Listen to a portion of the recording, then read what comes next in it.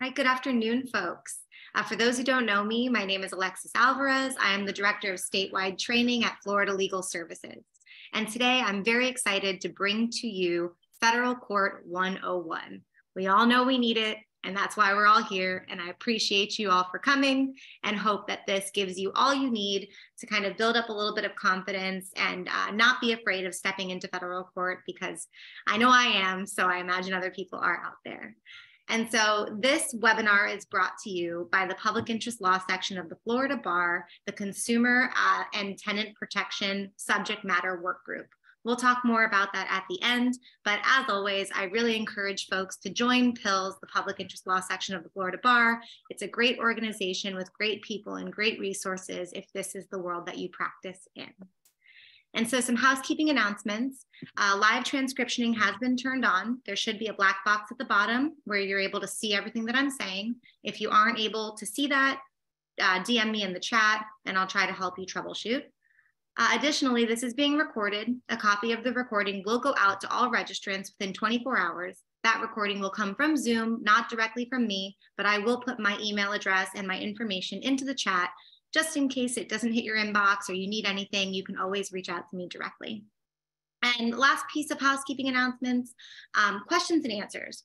Please don't be shy, don't be afraid. If you have a question as we go through, put it into the chat, put it into the Q&A. Uh, we will be monitoring that um, and presenting those questions to our speakers to answer uh, when the time is, is correct. So don't be shy, please be engaged. Uh, some of the best parts of webinars is when we get that engagement from you as an audience. So let us know what you're thinking and feeling. And so since I know I'm not going to teach you anything about Federal Court 101, I will move on into the introductions of the awesome speakers that we have here today. Uh, we have Middle District of Florida, United States Magistrate Judge Amanda Arnold Sansone, and we also have Laura B. Renstrom, partner at Holland and Knight. And with that, I'll turn it over to everyone else who's on my screen. Uh, the floor is yours. Thank you so much for being here. And thank you for uh, teaching us and giving us a little more confidence to step into your world. Thank you, Alexis. And thank you so much for helping to coordinate this webinar and making all of this possible today. My name is Laura Beckman. I'm with the Office of General Counsel with the City of Jacksonville, and I'm going to be moderating our panel today. Thank you so much to our panelists for being here. And we will waste no time and just jump right in. Um, so Laura, I'll start with you. Um, what are some of the major differences that you see between state and federal court? Sure, well, thank you for having me. I'm so excited to be here.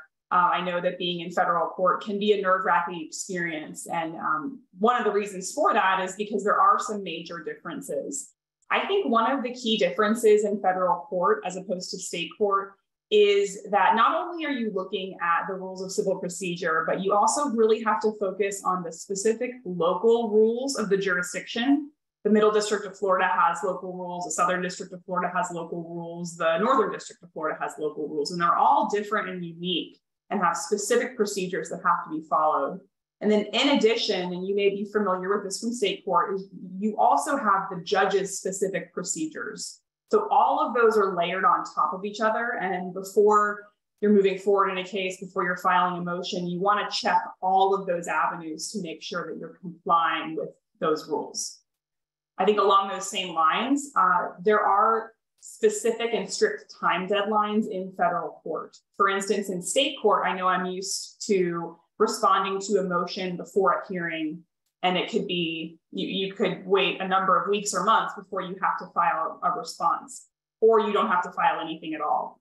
In federal court there are more specific timeframes for responding to motions and whether or not you get a reply.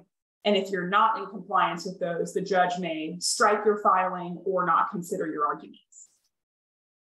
So laura where can people find the, the local rules and the, the rules that are specific to the judges the, the specific courts have a website. And so if you just Google Middle District of Florida, you'll pull up the Middle District of Florida's website.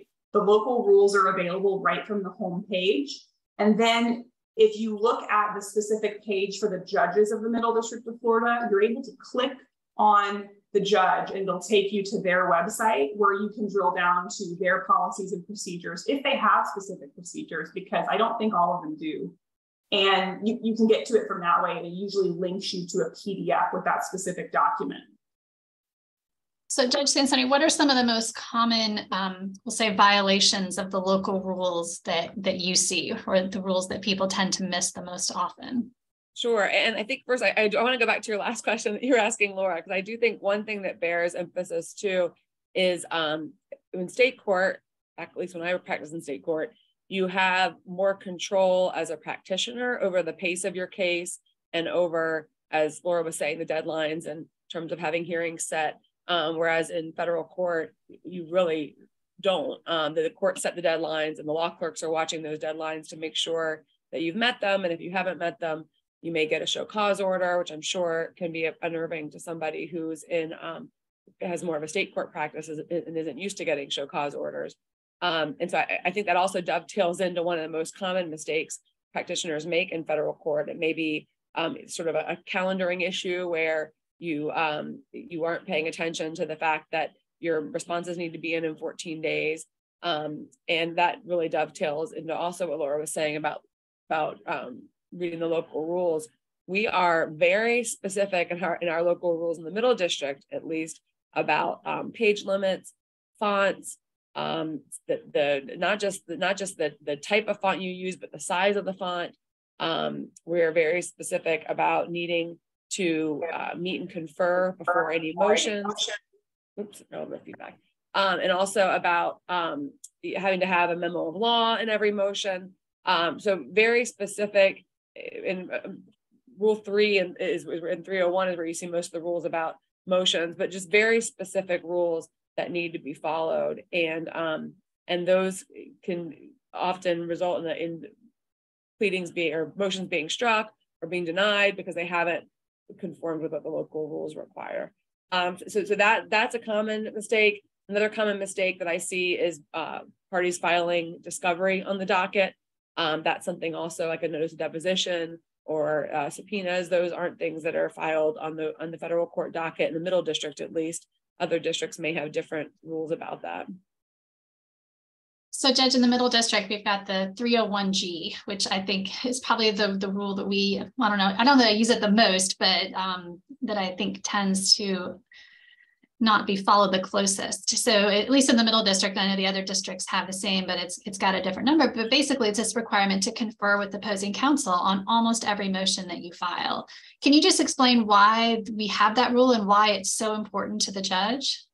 So it, it's important, first of all, because then we know if something's unopposed. If it's unopposed, we can dispense with it quickly and address it quickly. If it's um, if it's a, if it's opposed, we need to know that so we know to wait for the 14 days for a response to come in.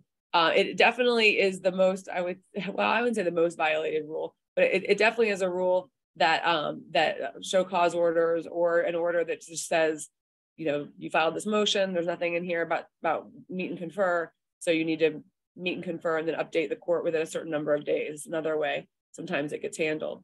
Um, but but it is it's a very it's it's it's an obligation that the court takes very seriously. We continue when we revise the rules to try to give it more and more teeth each time, um, not to have a unilateral letter or an email saying, let me know if you object to this motion to compel within the next 24 hours while I'm filing it. I mean, that, that um, our rules are specific. And then also our middle district discovery manual is specific about um, needing to have an actual conference. So actually get it, picking up the phone, um, talking to the person and trying to work something out, particularly if it's a discovery dispute.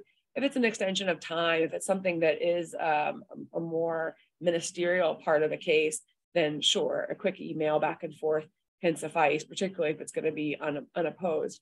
Um, but but it is it's very important because it tells us when things are ready to be ruled on. When if the other side hasn't responded, we may need to show cause them to say, look, what's your response going to be to this? Um, what objection do you have? Or we have standard language too that says that if you uh, have not responded to a motion within the time frame allowed by the rules, which is for most motions is 14 days, that we'll treat the motion as unopposed. So, Judge, another one for you. So, every case in federal court gets two judges assigned to it. Why do you need two judges, and what are the different roles for each judge? Sure, and well, and, and just the I'll kind of diagram the case number in general for federal court. So all of our case numbers start with a with a digit, uh, depending on the division you're in, whether whether you're in up in Jacksonville or I'm in Tampa. There's a different primary number that or, a different single digit number that um, signifies that um, district. Jacksonville, I believe, is three. Tampa's eight, and that tells you which which division you're in. Following following that is the two digit, which is the year, and then CV for a civil case, CR for a criminal case, etc. And then a case number, a, a, a number that is gets bigger and bigger as the year goes on because that signifies what what what number civil case that was that was filed in that division for that year so far and then two sets of initials. Uh, the first set of initials is the district judge assigned to the case and the second set of initials is the magistrate judge assigned to the case. The district judge is the article 3 judge um, the judge that you the, the whose confirmation process makes the news and has become more and more political i guess over the years. Um, and then the magistrate judge is an Article One judge, which are judges that are selected and um, appointed by the district judges to assist the district judges with their caseload. And we serve for eight year terms. For the most part, um, and this varies district to district. Every district does not utilize magistrate judges the same way. But in the middle district, in civil cases, we are utilized extensively for uh, the really the first part of the case. So the, the discovery, um, sometimes settlement conferences, and sometimes other more dispositive motions on a report and recommendation basis. So discovery, all discovery disputes are automatically referred to us and we handle those. Many requests for extension are also automatically referred to us and we handle those.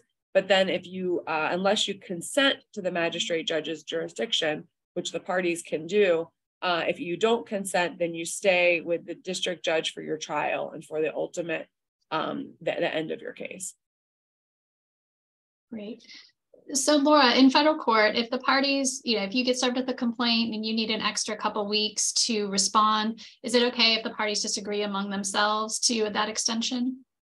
That's a good first step, but you do need court permission to extend deadlines, even if counsel is in agreement the the court is also monitoring the deadlines and the law clerks are doing that. And so if you miss a deadline e- even though you have an agreement from counsel you may get a show cause order with the judge asking why you didn't respond in a timely manner. So you'll need to file a motion for extension of time. Um, and, and I, I, I can't speak for the judges but i know that most of them generally don't like to get that motion on the deadline at 5:30 p.m. So it's always better to try to file those in advance if possible to give the judge advance time to rule on it. That kind of brings me back also to the local rules point. Each of the jurisdictions in Florida are a little different, but in the middle district, you don't file proposed orders. And in, in fact, you're prohibited from doing that unless the judge specifically asks you. So while that might be something standard that you would provide in state court, in federal court, those are sometimes not allowed depending on the jurisdiction. So Laura, we just got a question that I'm going to punt to you. What are some of the pros and cons of consenting to magistrate jurisdiction? I mean, I think it sort of depends on a number of issues. You, you you're going to know the district court judge and the magistrate judge, so you may have a sense of how which judge you want on the merits-based issues. But for me, one of the biggest determinations is the magistrate judges, although they are very, very busy with discovery disputes, they do tend to be able to get you on a trial docket sooner. And so sometimes if you're wanting to move the case along and both parties will agree to that, they may be able to fit you in. And, I'll, I'll, just speak to that. I mean, I, I, and I'm sure my colleagues as well, like we have certain sort of carrots we can dangle, I guess, to to have people be more interested in um, consenting to us. 100% the big the most the biggest selling point is that we don't have a criminal trial docket. So um, and this actually we were probably remiss in not pointing this out.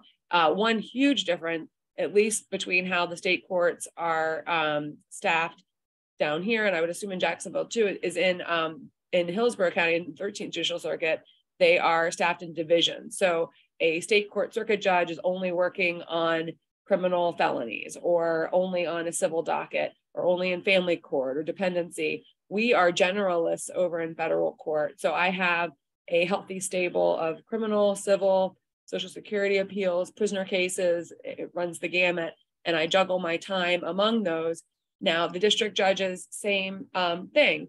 And so they, because of the um, Speedy Trial Act, the criminal cases have to be tried within a certain amount of time unless the criminal defendant has waived their right to a speedy trial. And often, even when they do that, they've only done a short term waiver of that speedy trial right. So, because of that, almost all, well, the typical uh, approach the district judges take to their trial calendars is that the criminal cases come first uh, in order from oldest to most recently filed. And then the civil cases come after that. So it's what's called a trailing calendar. So that can lead to a lot of uncertainty as your trial date approaches as to when you're going to have your trial. And if you're on a trial calendar where there are a lot of um, of cases set for trial, you may end up not even going to trial the month that you thought you were going to trial. Uh, most of the trials in federal court aren't one day, two day, three day trials. They're often three days at a minimum, usually a week, maybe even spilling over into the next week.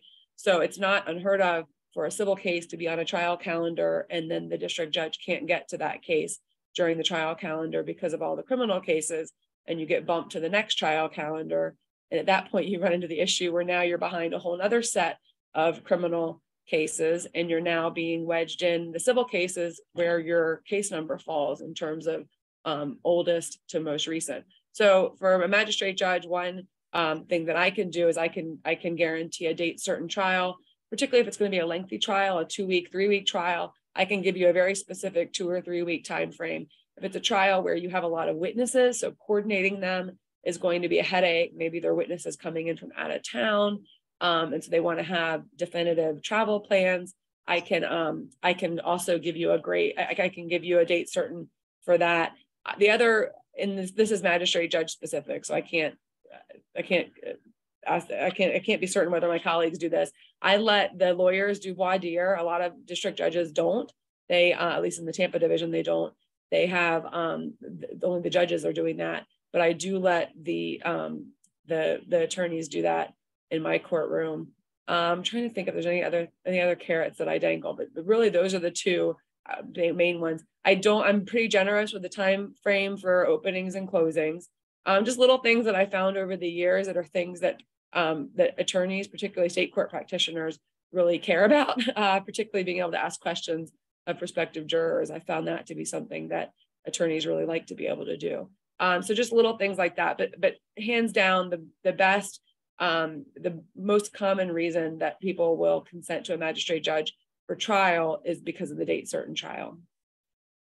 So Laura, you had also mentioned that the law clerks would be watching the docket for the deadlines and things. Can you talk a little bit about how many law clerks a judge typically has and what their duties usually are? Uh, well, Judge Sansone may be able to weigh, weigh in on this more. I was not a district court clerk, but I know generally the, the judges will have four district court clerks that sort of split up the docket. Most of them are generally focused on the civil docket. And so they're assigned to particular case numbers, they're monitoring the deadlines, they're um, aiding the judge in making determinations and uh, they're they're kind of if you have questions about your case, you are able to call the district court clerk. Although they don't answer legal questions, they can. You have especially if you have opposing counsel on the phone, you could ask specific case related questions. Yeah, so in Tampa, um, most of the district judges have three because they have opted not to have a judicial assistant. If they have a judicial assistant, then they only have um, two. That's the district. And the magistrate judges, we have two. So we have, or unless we have one a judicial assistant, but I don't think that any have judicial assistants. Um, so it's two law clerks for the magistrate judges, and then we have someone from the clerk's office who's a um, courtroom deputy who helps us with more of the criminal cases as opposed to the civil cases. Um, and it, it, it, the most that any judge can have that's a career clerk is one. And then we can have um, a term clerk, or the magistrate judges or the district judges can have two term clerks. Um, and so the ter term clerk is can be up to as long as four years. Um, that's when you max out. Uh, but I would say typically the magistrate judges and district judges will have those term clerk positions for one or two years at the most. So Judge Sansone, how frequently are you having hearings on um, matters that are before you versus just ruling on the papers? So I am I tend more on the hearing side of the spectrum. Um, and and again, I know we've said this now several times, but every every judge is different. And one thing that's um, probably sort of a blessing and a curse from practitioner standpoint is that we have developed our own policies of how we handle things. Um, I tend to have most discovery motions. I have a hearing for them. Um, my background was as a civil practitioner, first for a large law firm, and then for um, the Attorney General's office, where I had the pleasure of working with Laura Beckman. And so um, I have found that with particularly with civil discovery, often one side's asking for too much and one side's not willing to give anything. And so there's usually somewhere in the middle that um, that I can get a better sense of the dispute and I can and the parties can work a little bit more together in a hearing setting. Um, and I can I hate to use the term balls and strikes, but if there's little disputes that come up along the way, call balls and strikes a little better. So I tend not on discovery too often to rule on the papers. More often than not, I have um, a hearing. Now, if it's a very discrete issue um, or a very specific issue, and I can, and it makes more sense for everybody to have it, it just be ruled on the paper, then by all means, I'm not going to waste people's time and have them come in for a hearing. Zoom, I mean, one one silver lining of the pandemic has been that Zoom has become a much more common method and manner for having a hearing. So um, yeah, I used to worry pre-Zoom and pre kind of the pandemic when everyone was having to travel in person for hearings. I never found telephonic hearings to be all that helpful. And so um, I always felt bad if it, people were having to travel for in-person hearings. I would try to kind of minimize them or maybe bunch them up when there were more issues to address. But now with Zoom, it's much easier to have hearings. I would imagine you're seeing more hearings, at least before the magistrate judges on discovery matters. Um, so I, I tend to have more hearings, but I have colleagues that, that, that don't have as many hearings and they, they do more on the, the papers. For me, I find that because I have enough experience with civil, that um, I'm able to take some of the workload off my law clerks by handling discovery hearings uh, as opposed to writing everything in the papers. And Laura, sorry, go ahead. I was going to ask what your experience has been. Sure. I think this is goes back to another one of the big differences with state and federal court as well. I know in state court, sometimes you're hard pressed to find a hearing time when you're looking to, you know, you're scheduling a motion to compel for six months out because that's the judge's first availability. In my experience, when discovery hearings are set, they're usually set pretty quickly. So you may file a motion to compel, and then the judge wants to have a telephonic hearing a week from now. And so you're much more likely to have things moved along quicker, um, which is great. And that's one of the benefits of the magistrate judge as well, because they can generally fit those those hearings in. Yeah. Yeah, and, and it really it really depends. I mean, I've had ones where I've waited for the response to come in. I mean, I mean, we have the, one benefit of the federal system is we do have law clerks. So we're able to read things as they come in and sort of triage um, instead of waiting for things to become ripe, or as often happens in the state court system where you're waiting for a hearing to be set um, to then have the issue teed up before the judge. So we're proactively looking at what's filed on our dockets every single day. And um, so sometimes, depending on what's being what's being requested and the deadlines that are coming up in the case, we may even expedite a response um, or we may go ahead and set something for a hearing and then expedite the response to be due a few days before that hearing time. Um, and then as I, during one of the, during the prep session, as I was um, telling the other panelists, I, I tend to clear dates with parties before setting hearings. That is, that is not the norm is my understanding. I know as a practitioner, it was not the norm in federal court that those dates and times are unilaterally set. Um, so I tend to give a whole bunch of, of dates and times um, to my law clerk, who will then relay those to the parties, typically by email. Sometimes, if it's a um, high profile case or one where there's been really hot and heavy with litigation, we'll do it in a notice. We'll list a whole bunch of dates and times in a notice so there's not this, so it's not a more, um, I guess, enforce, so to keep things more formal. Um, but otherwise, typically in cases, my law clerk assigned to that case will send the parties an email ask them to confer among themselves and then get back to us with what date and time works. Um, it's a little different than state court system, I know. I know one of the things I really appreciate federal court is is what you were saying that the court is proactively looking at everything that's been filed. In my experience in state court is that nobody's really looking at it until it's been set for a hearing and there's a reason for the judge to pick up the file. And it is not uncommon for us to, you know, somebody else file a complaint, we'll get served with the complaint, we'll be calendaring our answer. And before I can even start on my answer or motion to dismiss, I get a sua sponte order from the court saying, you know, we've looked at this complaint, it's got issues, go back and correct it before the parties spend a lot of time dealing with it. And I very much appreciate that. Or, you know, if there's a time sensitive discovery issue where if we wait the 14 days to answer, the issue will be moot, you know, we'll be past the discovery deadline at that point or whatever. And so I think the federal court is great about looking at that stuff as it comes in, dealing with it in a practical, common sense way, like, you know, what makes sense to, to deal with this.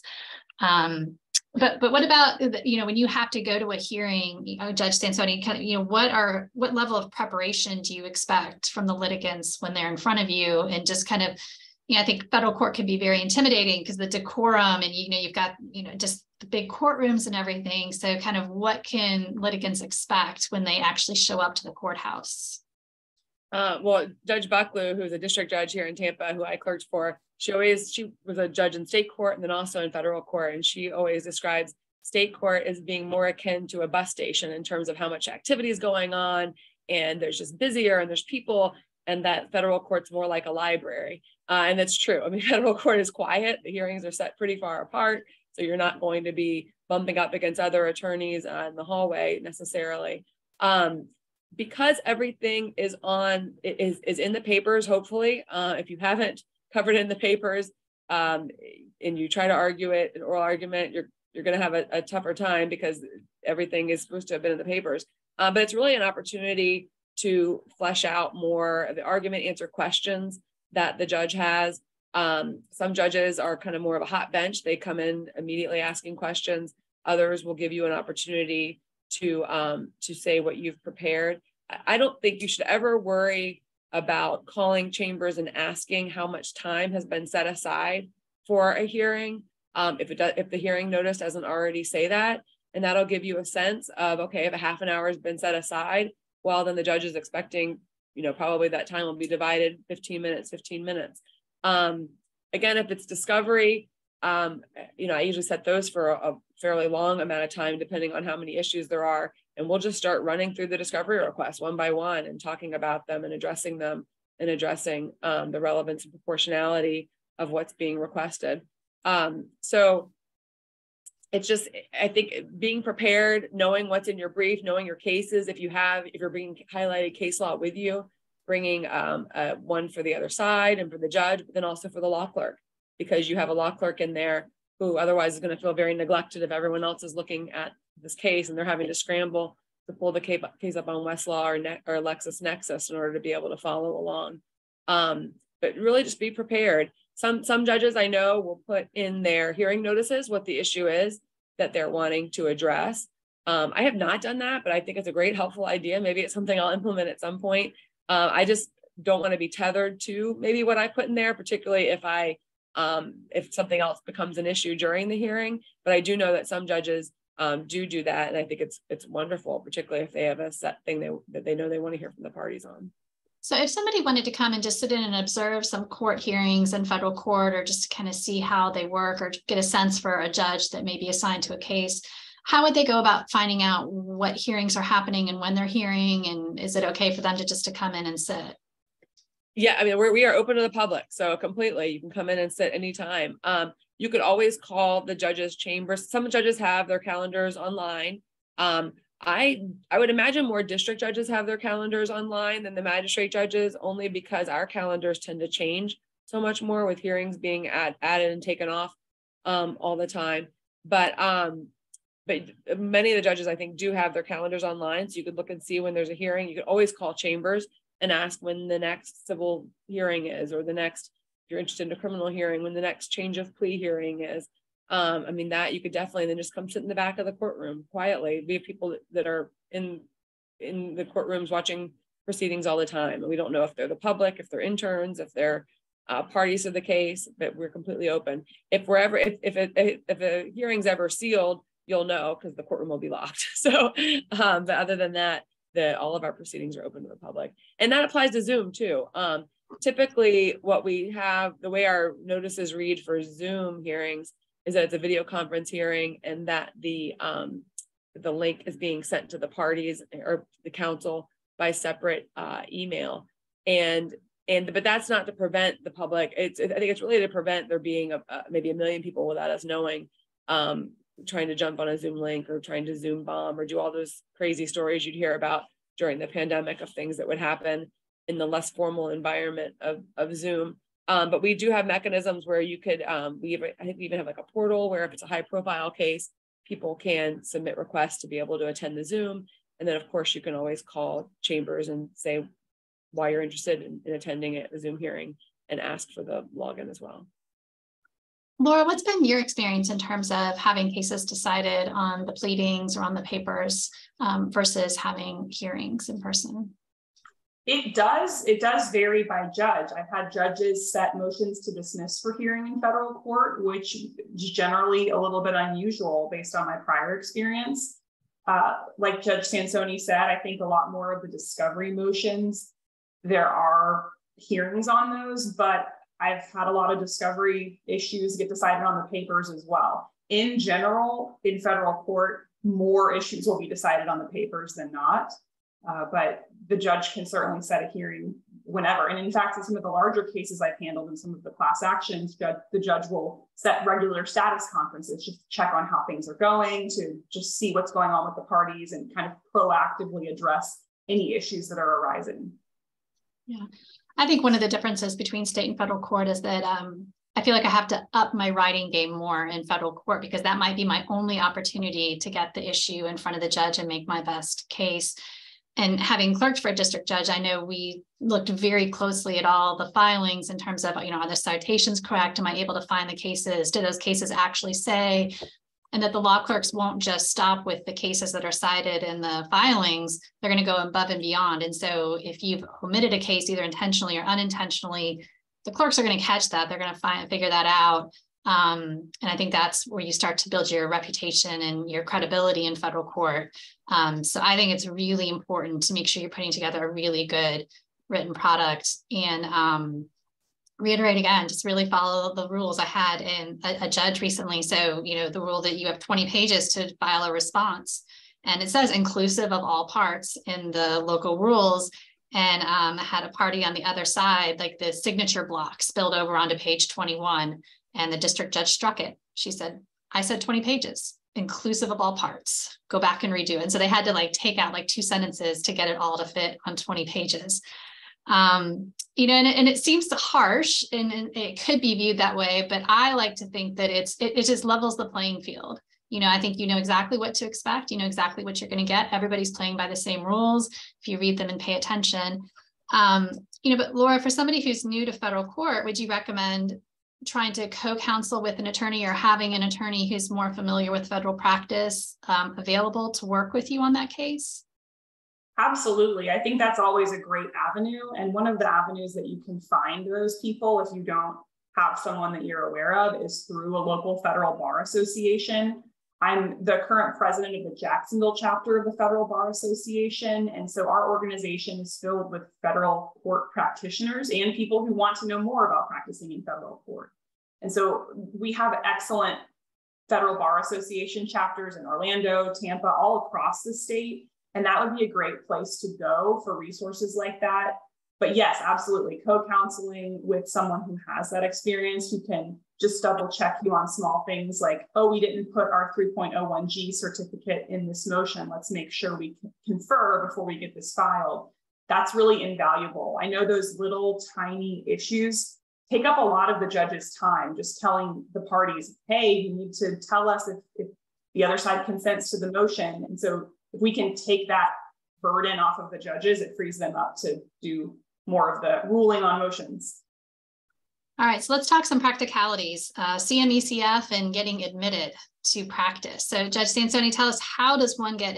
Do you have to do anything special to be able to practice in federal court and how do you go about accomplishing that?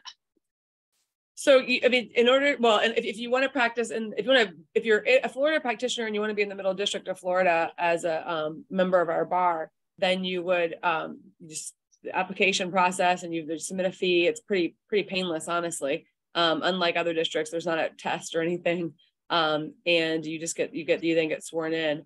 If you're, uh, if, if, if someone's applying to be Pro Hac Vice, the requirements are a little more strenuous. The rule for that is very specific as to what they need to include in the motion. And those get struck all are denied without prejudice or struck all the time. I mean, that is, is at this point, when we change the rule, that is the most common um, motion that I would say that we are either denying without prejudice or striking. So if you if you have one of those that you file and it gets denied without prejudice and you're filing it um, on behalf of somebody else, which you it's one of the big violations of the rule that you shouldn't be doing, um, then don't don't you're in good company with getting that denied without prejudice. A lot of people are.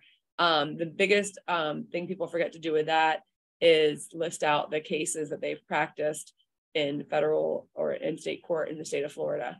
Um, so again, I would imagine most people on this uh, webinar are Florida attorneys, but you may at some point be counseling someone who is out of state who wants to be filing uh, Pro Hac Vice here. So you'll just want to make sure you follow the, the rule there. It's very specific. It spells out exactly what you need to do, and you just need to follow it to the T.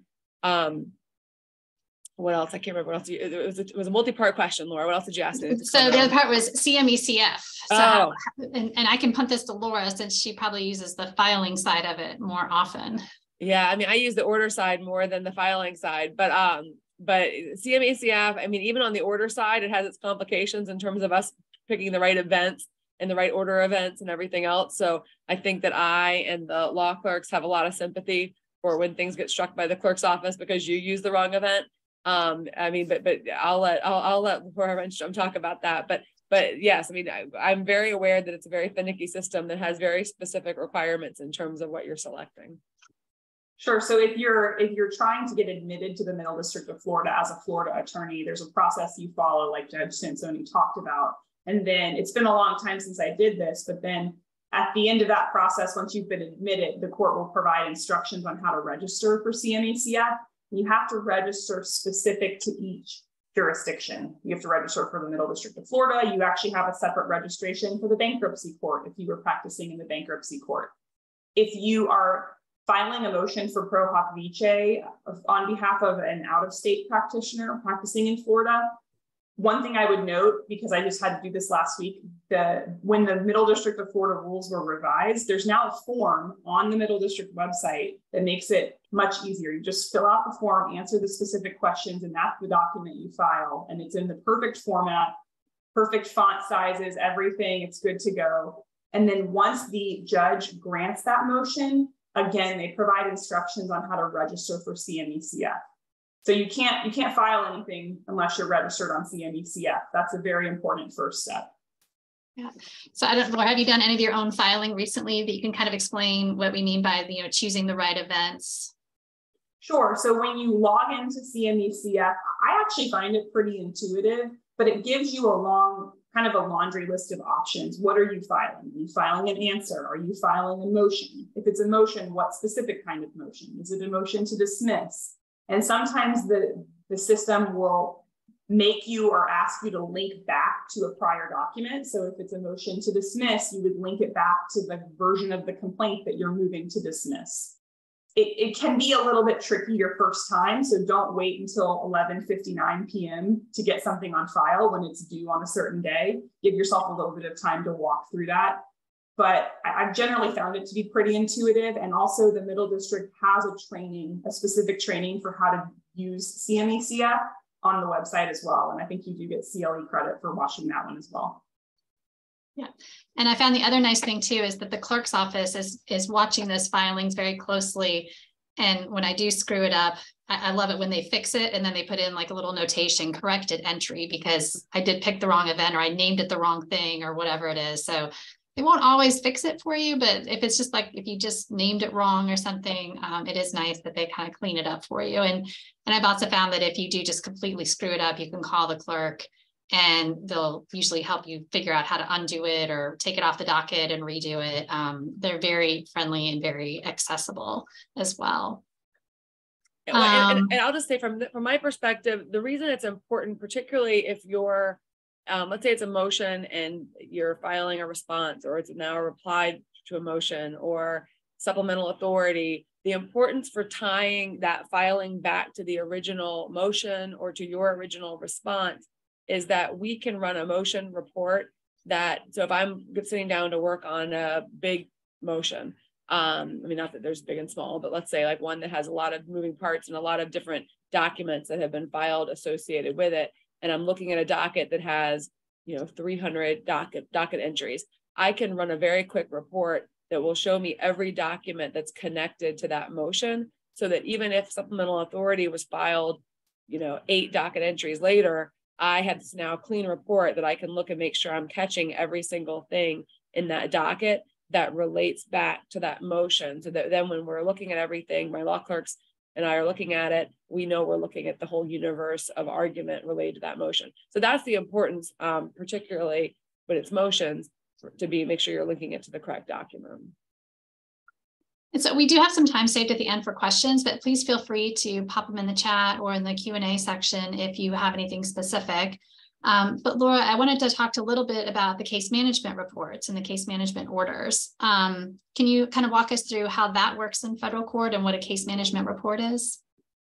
Sure. So at the outset of your case in federal court, generally the, the district court judges will file a docket entry with the instructions for how to fill out that case management report and what they want it to show. There is information on that in the local rules as well, but usually the district court judges have a specific form that they like the parties to use. And so that will be one of the docket entries uh, when you go look up on Pacer to check all the docket entries in the case.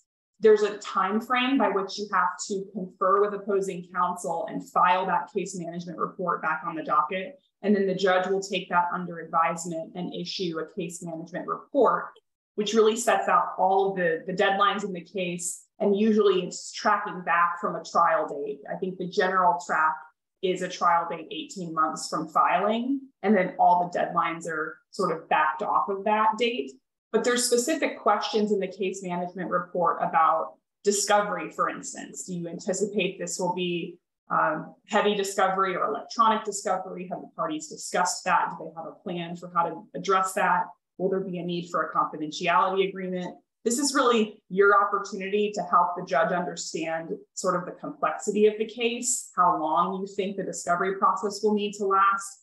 If you think you might need a lot of depositions in a specific case, that might be the chance to put that in there to put the judge on notice that there may be a requirement to go over 10 depositions, or you may have a number of expert witnesses it's just a, a good opportunity for, to lay out how the case is going to go procedurally. It's really not the chance to argue the merits one way or the other. You're just kind of walking through the procedural issues that you may face in the case.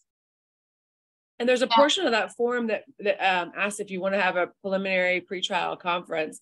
Um, and those are more common in, you know, patent cases and some of the more um, laborious cases. But but I, mean, I, I don't, I never think it's a bad idea to ask for one of those, particularly if you, if you forecast that there's going to be a lot of discovery issues. And then at that pretrial conference or preliminary pretrial conference, I should call it, um, that's typically before the magistrate judge, at least here in the Tampa division. Um, and when, when that happens, particularly if you if you know you're going to have discovery issues, I mean, the example Laura just gave is a great one. In the in federal court, you're limited to um, 10 depositions of seven hours in duration each. Well, if you have a case that involved maybe an explosion somewhere and there are 30 witnesses, all of which will have pretty quick depositions of maybe an hour, hour and a half each at the most, um, that may be an opportunity to, to reasonably request of the other side, and if the other side disagrees, to, to tee it up for the court. Say, look, I know there's this 10 hour, excuse me, 10, 10 seven hour deposition requirement or limitation. We anticipate there's going to be 20 of these fact witness depositions that are going to be at least one hour, maybe two hours at the most. We'd like for those to only count as two depositions or something, something that you can make more reasonable, but you're teeing up issues early on. Um, and then you can always ask later to have follow-up discovery conferences or follow-up case management conferences. We saw that a fair amount in COVID, particularly when um, all of a sudden depositions had to be continued or people had to quarantine and so couldn't travel for depositions um, and different things were happening or we were needing to have more case management occur because deadlines that we had set, you know, let's say in fall of 2019 were now no longer realistic in April and May of 2020. Um, so I, I, think that sort of another silver, silver lining of, of COVID has been that everyone has more of aware, an awareness that things happen and, and the earlier we can address kind of scheduling issues and other case management issues, the better. And I've learned over time to put a lot of thought into that case management report and thinking about the deadlines. You know, do you want discovery to end before mediation, or do you want to do mediation before you're done with discovery? Um, and then the court has a rule about you have to have at least five months before your summary judgments due before trial. So you have to give the court at least five months to rule on that summary judgment motion or dispositive motions um, before trial. Um, and I've also learned that there's no limit on the number of admissions you can get in federal court. So I got like 97 requests for mm-hmm. admissions. And so I've learned to negotiate how many admissions we're going to do in the case management report to try to avoid that. Um, so, and I've also learned that if, if for some reason you do need to change those discovery deadlines, so sometimes, you know, you'll say, oh, we just need another week or another month to finish up discovery. And you do a motion, you know, hey, I just want to push the discovery deadline back a month well, the court won't let you do that unless you move all the subsequent, because what the court does not want to do is that you got to protect that five months before trial. They've, you know, they've got to make sure if you can move the deadlines without affecting that summary judgment deadline and your trial deadline, they're generally fine with that. But when it encroaches onto that five month period, that's when the court's going to say, look, if that's what you want to do, then we're going to have to reset all of the deadlines because you're not cutting into my time. You can you can miss you can manage your time differently, but I still need that time out there. Um, and that's and that's a key language I would include in any type of motion. If you're filing a motion to extend discovery and now you're putting yourself right up against your summary judgment deadline, um, I mean, acknowledge that in the motion and indicate that you're only requesting extension of that deadline and you're not requesting the movement of any other deadlines in the case, fully aware that now now you the parties have agreed that the discovery can happen right up to the summary judgment deadline. Or if it's not a summary judgment deadline, if, if it's a case where there's so many issues in dispute, let's say maybe a slip and fall or something where um, there's not going to, I'm trying to think of cases that could go from state court to federal court, um, where you just know summary judgment's not going to be a thing. And so you could say that the parties have discussed it. We want to, ex to extend discovery. This won't affect the trial date because neither side anticipates any situation in which a summary judgment motion will need to be filed. And I wanted to make one other point, which is it, it is important to watch those deadlines you put in the case management report, because once that case management order is out there, if you want to extend those deadlines, you have to ask for permission. And it's, I found that generally in state court, if both parties are in agreement, it is more likely for the judge to say, sure, no problem. In federal court, the judge is an equal part of that decision making process, and they may not want to extend the deadlines, or they may say, I've already extended this once. You don't get it extended again. I don't think you guys are moving this along quickly enough. So you have to remember that you may not be able to get more time if you need it. So think very carefully about what you're putting in that case management report because you may be held to it. So let's talk a little bit about how to get some federal court experience. Um, what are some ways that people who might be interested in doing pro bono work might be able to get into federal court um, and, and, garner the deep appreciation of the federal court judges? Um, Judge Sansone, we'll start with you. So uh, uh one way that I, we've, uh, at least locally here, that I've had in a couple of cases is um, maybe it's a pro se plaintiff and um, and they're at the point now where they're needing some help with discovery or they're needing some help with a mediation. Um, and we will send out a request. We do it here through the the local federal bar association and it'll be a very a very limited request for um, pro bono assistance for somebody to assist with the discovery process or to assist with the mediation. And it's and, and it's very finite to the extent that it's clear that the the representation will only last up until you know X date or only last through the mediation. And if the, if the case isn't settled, then that, that attorney will be relieved of their obligation. So that's one way. Um, and then of course, as Laura uh, Renstrom said earlier, partnering with somebody through the FBA um, maybe doing pro bono. Maybe it's a case where they were only able to hire one particular attorney, but now the case is going to trial and someone needs um, needs additional help. I mean, second chairing a trial would be a great way to get into federal court, helping with discovery, helping with um, hearing prep, different things like like that. Our so federal association will um, every now and then receive a request from one of the, the judges in our division in particular asking for pro bono counsel. And usually it's prisoner cases under Section 1983 that are ready to go to trial. Their summary judgment has passed. There's been uh, mediations that have not been successful. The case is ready to go to trial, and they're looking for lawyers to step in and assist. And that's excellent federal court experience. You get a lot of appreciation from the judges because they know that going to trial with a pro se inmate can be a challenge as far as just walking that person through the rules, making sure they're following the rules. And uh, you know, you do you do you are thrown in the fire, but the judges understand that as well. And so it's great opportunity to get actual trial experience and to get in federal court. And here too, I, and I'm sure it's every division does this also. You know, if, if you get if you volunteer to assist a, a prisoner, a pro se prisoner with the litigation, um, typically the judges will be very forgiving in terms of letting you move to reopen discovery.